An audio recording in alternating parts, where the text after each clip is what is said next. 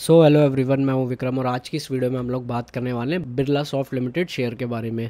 अब स्टॉक में आपको याद होगा तो लास्ट टाइम मैंने आपको कुछ लेवल्स दिए थे और उसी एग्जैक्ट उसी एरिया से हमें यहाँ पे सपोर्ट मिलता हुआ देखने को मिला है। अगर आप देखोगे तो मैंने आपको कहा था 567 के नीचे अगर ये निकल के क्लोजिंग दे देता है तो फिर हमारे लिए यहाँ पे डाउन साइड की पॉसिबिलिटी बन जाएगी। और अगर यहाँ पे हमें इनकेस ग्रीन कैंडल्स दिखती है तो हमारे लिए हमारे लिए जो पहला टारगेट निकल के आया था वो था सिक्स फोर्टी टू रुपीज़ का।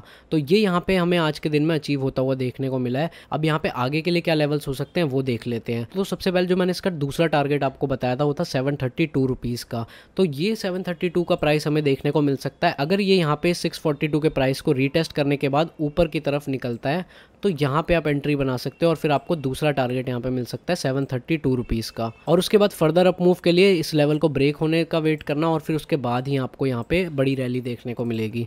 तो ये लेवल्स हैं इसके अपसाइड के लिए डाउन साइड के लिए अगर आप देखना चाहते हो तो आज के दिन अगर हम इसका प्राइस देखें तो सिक्स सिक्सटी वन रुपीज़ का था। अब ये अगर सिक्स फोर्टी टू का प्राइस नीचे की तरफ़ ब्रेक करके रीटेस्ट कर लेता है तो फिर यहाँ पे हमें फिर थोड़ा सा फॉल देखने को मिल सकता है अगेन 567 के लेवल तक। तो यही लेवल्स थे बिरला सॉफ्ट लिमिटेड शेयर के। आई होप ये वीडियो आप लोगों के लिए हेल्पफुल रही होगी। ऐसी और वीडियोस देखनी है तो चैनल को सब्सक्राइब कर देना और मैं मिलता हूँ आपसे अगली वीडियो में।